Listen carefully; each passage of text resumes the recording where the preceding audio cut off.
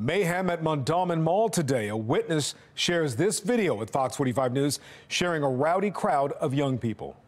I seen a whole bunch of kids just fighting, a whole bunch of them.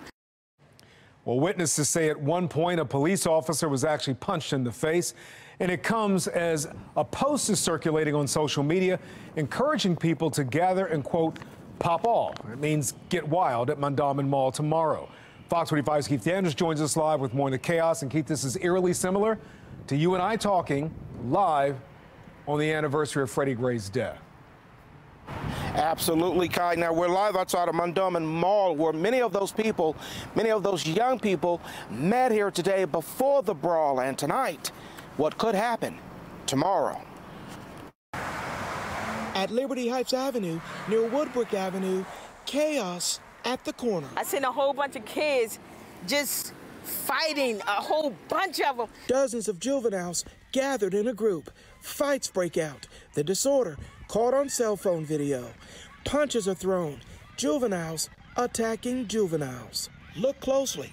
A Baltimore City police officer seen in the middle of the crowd trying to break it up.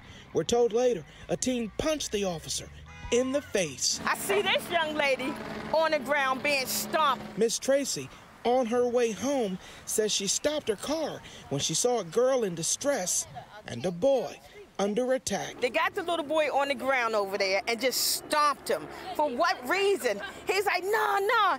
And they just kept stomping him and stomping him and stomping him. The mayhem happening near Mondawmin Mall, where an Instagram account is calling for a Mondawmin link up this Friday. The post urging participants to show up at the mall, have fun, bring all the drama, and uses an expletive regarding the police.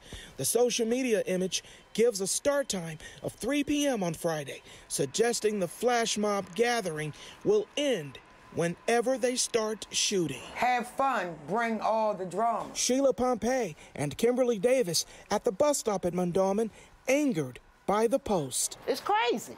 Some ignorant, foolish person didn't have anything to do. They just trying to start some more trouble. Why?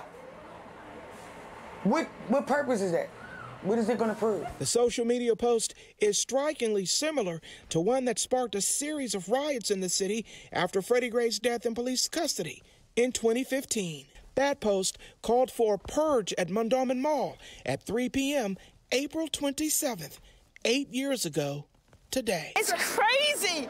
We need to do something.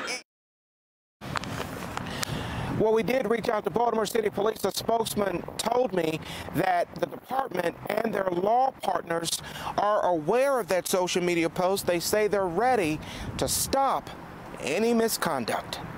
We're live tonight. Keith Daniels, Fox 45 News.